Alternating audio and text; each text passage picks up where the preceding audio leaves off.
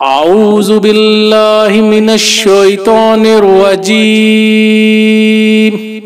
بسم اللہ الرحمن الرحیم سونے کے وقت تسبیح اور تکبیر پڑھنے کا بیان.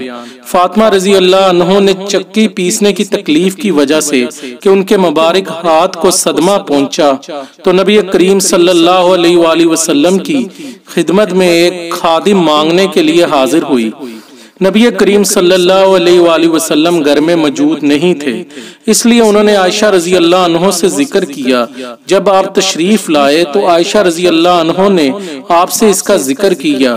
حضرت علی رضی اللہ عنہ نے بیان کیا کہ پھر نبی کریم صلی اللہ علیہ وآلہ وسلم ہمارے یہاں تشریف لائے۔ ہم اس وقت تک اپنے بستروں پر لیٹ چکے تھے۔ میں کھڑا ہونے لگا تو آپ صلی اللہ علیہ وآلہ وسلم نے فرمایا کہ میں تم دونوں کو وہ چیز نہ بتا دوں جو تمہارے لیے خادم سے بھی بہتر ہو۔ جب تم اپنے بستر پر جانے لگو تو تینتیس مرتبہ اللہ اکبر کہو، تینتیس مرتبہ سبحان اللہ کہو اور تینتیس مرتبہ الحمدللہ کہو، یہ تمہارے لیے خادم سے بہتر ہے۔